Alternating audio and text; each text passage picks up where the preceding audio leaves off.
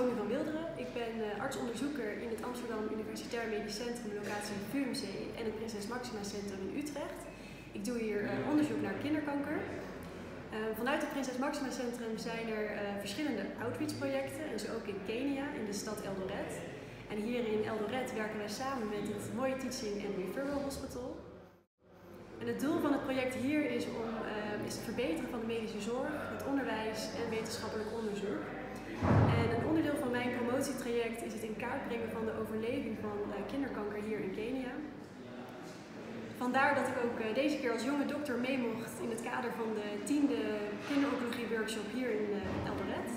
Het doel van, dit, van deze workshop is het bijbrengen van de kennis van de algemene kinderoncologie bij de studenten geneeskunde, bij verpleegkundigen, artsassistenten en bij de dokters hier. Mijn naam is Saskia Mostert. Ik werk als onderzoekscoördinator bij het Prinses Maxima Centrum.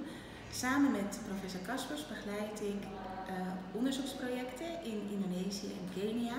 In Kenia begeleiden wij twee Keniaanse promovendi, Gilbert Obara en Sandra Langat. En bij het verzamelen van de data worden wij geholpen door Nederlandse geneeskundestudenten. En momenteel zijn zowel Monique als Senne hier om ons uh, te helpen.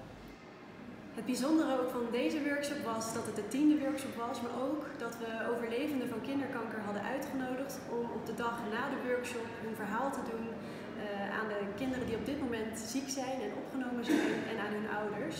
Om ook deze mensen te inspireren en hoop te geven.